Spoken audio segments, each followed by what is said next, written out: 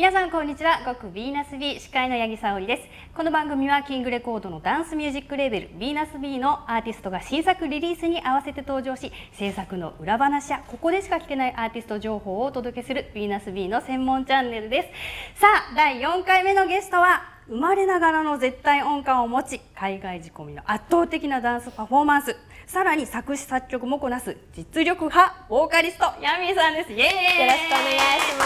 す。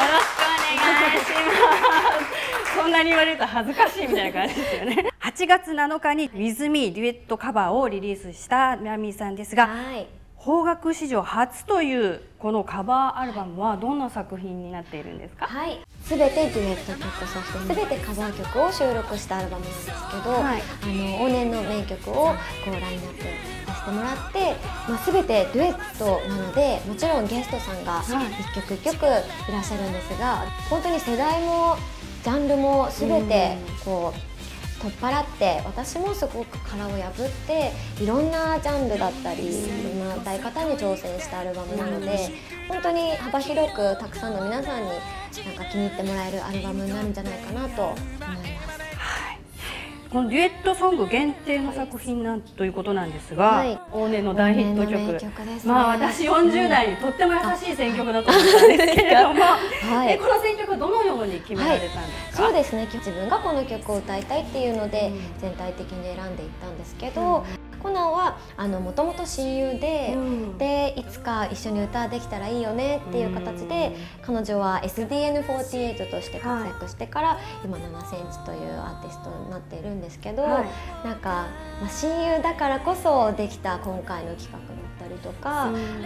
コナンと歌うんであればこの曲がいいんじゃないかなっていう人選からのスタートもあったので。かいろんな形で今回あのいろんな機会をいただけて本当に自分でもそうですね。はい発見もいっぱいありました。さあ共演アーティストは本当にね全員が豪華なんですけれども、はい、特に今を抱きしめている吉田栄作の吉田栄作さんとデュエットに関してはご本人とお歌い。になったということで吉田栄作さんは20年ぶりのね、ね。お歌ということなんですけれどもこの曲にはどんな思い出がありますか、はい、私があの小さい頃に親がすごい好きで口ずさんでたのを私もすごくあの耳にしてなんか子供ながらにすごい素敵なメロディーだなっていうのは感じていて、大人になるにつれて自分の恋愛と重ねてみたりとかだんだんこう深いところまで分かってくるようになった時に、うん、あこの曲いつかカバーしたいなっていうのは思っていて、うん、原曲の良さを最大限にこう表現するにはやっぱり本人ご本人さんにもし歌っていただけるのであればっていうので熱烈オファーさせていただいて。多分20年ぶりの歌入れということで、はい、渋い声になってて、ね、また、はいすごいいい味が出てらっしゃるなと思って聞きました。すごい味とか深みとかが増して、うん、どこかこう面影はやっぱりまだあってでもこう20年っていう深みとかなんか趣がすごくある声だなと思って改めて素敵な声だなと思いました、うん、PV も作られてますねそうなんです。青い孤独に一人埋もれた素直に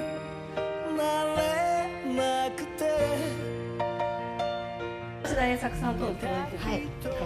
そうですね。アーティストさんでもあり役者さんでもある方なので、うん、あの PV 一つの立ち姿とか表現力っていう部分で、あのやっぱさすがだなっていうとっても勉強になりましたし、うん、どっかでこうビートを感じてなんか体が動いてしまう癖があるんですけど、うん、その PV の時も吉田栄作さんを微動だにしない姿が すごくくて、ね、すごくかっこよかったりとかやっぱりこの曲にはそういうところと後半にかけて盛り上がってちょっと激しくなるとか、うん、そういう部分もやっぱり役者さんならではといいますかすごく勉強になりましたね。ボーカリストは他に中西慶三さんや中川明則さん、はい、MCAT さん角田信明さんコナンさんそしてアーティスト仲間の中村舞子さん。はい、ヴィーナス B でおなじみのクリフエッジのジュンさん、はい、イール B さんなど本当にね豪華なんですけれども、このボーカリストの皆さんってどのような経緯でオファーされたんですか、ね、ご本人さんだったりこの楽曲のイメージに合う方っていうか思いでオファーさせていただいた部分と私がすごくゆかりのあるアーティストさんっていう3点から選ばせていただきました。でも本当に思った以上のなんかマッチングがすごいあったなと思いますね。あの今までの作品作りとは全く違った制作工程だったと思うんですけれども、はいね、カバーということで何かこだわった点っていうのはありますか、はい、で自分らしさをどう表現するかっていうことに関してやっぱり原曲を何度も何度も弾き直して忠実に歌ってみたんですね。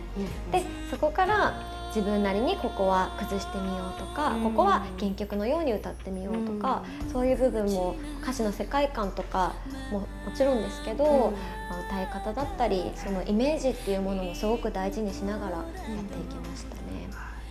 成長できた部分っていうのはありますか？そうですね。低い声を出すのが苦手だったんですね、だけどそれがすごく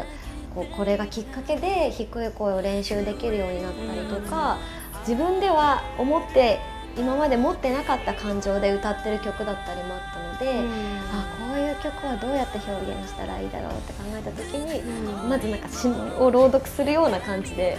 こう読み上げて、うん、あこういう気持ちかじゃあこういうお姉さんっぽく歌おうかなとか、うん、なんかそういうのを考えながらやっていったので気持ちで表現したことのない表現の仕方とかもすごい出し出したなって、ね、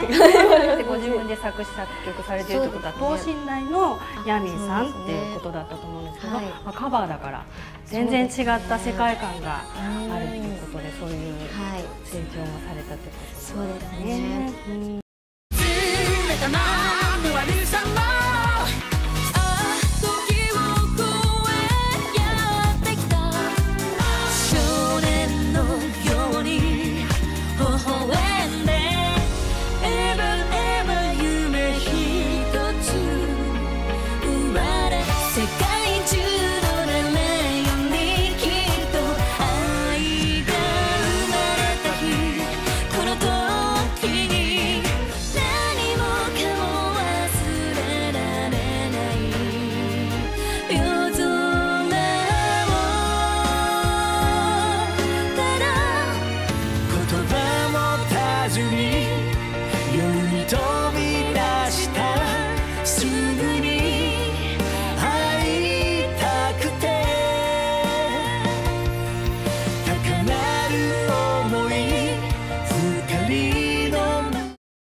さあこの作品はどんな方に聴いていただきたいですか？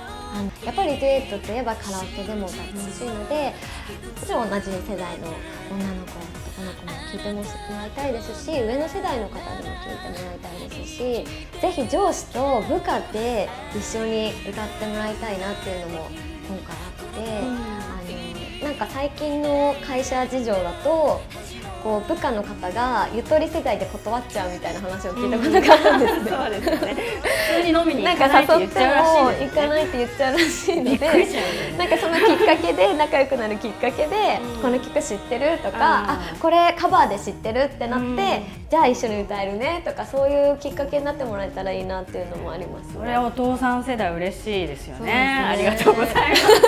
私も聞いてて本当にねあの、はい、歌詞を見ないで口ずさめるところとかいっぱいあって楽しいアルバムだなと思って聴いておりました。夜に飛び出した